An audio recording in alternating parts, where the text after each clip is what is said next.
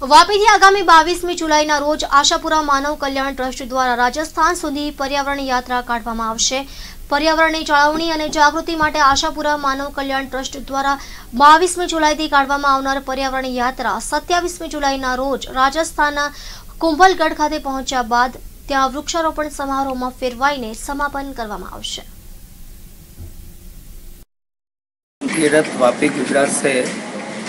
गुजरात से 22 तारीख को रवाना होगा सुबह ग्यारह बजे अम्बा जी मंदिर से और राजस्थान पहुंचेगा 25 तारीख सुबह श्रीनाथ जी। सत्ताईस तारीख से पौधारोपण का वहाँ कार्य किया जाएगा। कोमलगढ़ तहसील कालीजर पंचायत में और 28 तारीख को तासोल पंचायत में बड़ा कार्यक्रम रखा गया है, जो वहाँ के सांसद महोदय हैं हरिओम सिंह जी राठौर, उनके आदर्श पंचायत के अंदर। उनतीस तारीख को एक अमाजल महादेव का मंदिर है, जो कुमलगढ़ तहसील कालीजर पंचायत में आता है। वहाँ पे उनतीस तारीख को बड़ा पहाड़ के अंदर मंदिर है। उस मंदिर से और पूरे गाँव में पौधे दिए जाएँगे तीन हज़ार। तीन हज़ार पौधे सत्ताईस तारीख को दिए जाएँगे लोगों को। प्रत्येक व्यक्ति को दो पौधा देने का संदेश है हमारा।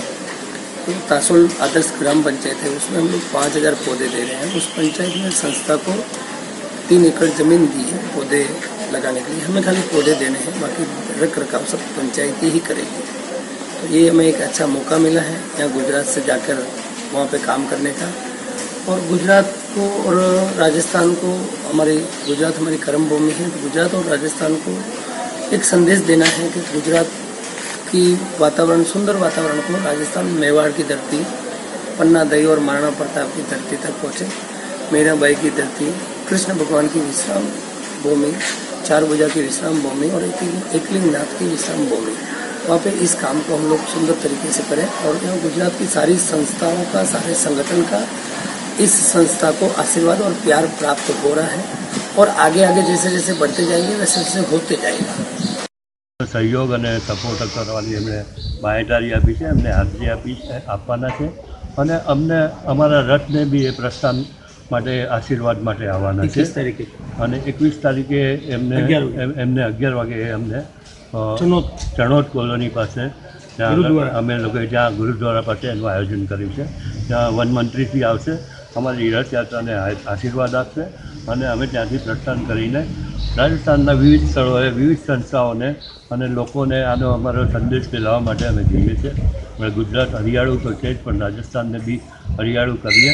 અને લોકોને માટે એને કામ આવે, આપણા આપણા વૃક્ષારોપણથી લોકોની જિંદગી સુધરે એટલે માટે અમારો આ પ્રયાસ છે. અને એના માટે ગુજરાતના દરેક જગ્યાએ છે. અહીંયાથી જતાં જતાં જેટલા બી વચ્ચે સ્થળો આવે છે, નવસારી છે, વલસાડ છે બરોડા છે, સુરત છે, ત્યાંની વિવિધ સંસ્થાઓ અમને રસ્તામાં અમારું સ્વાગત અને સહયોગ કરશે અને અમને સપોર્ટ કરવાના છે.